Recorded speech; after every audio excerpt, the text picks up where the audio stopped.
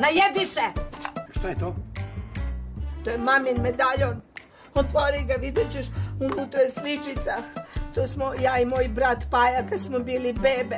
Prodaj mamu moju, prodaj mene, prodaj pajčeta, sve prodaj, uzmite pare i kupi prase. Kupi praseću glavu, kupi pihtije, kupi škembiće i najedi se.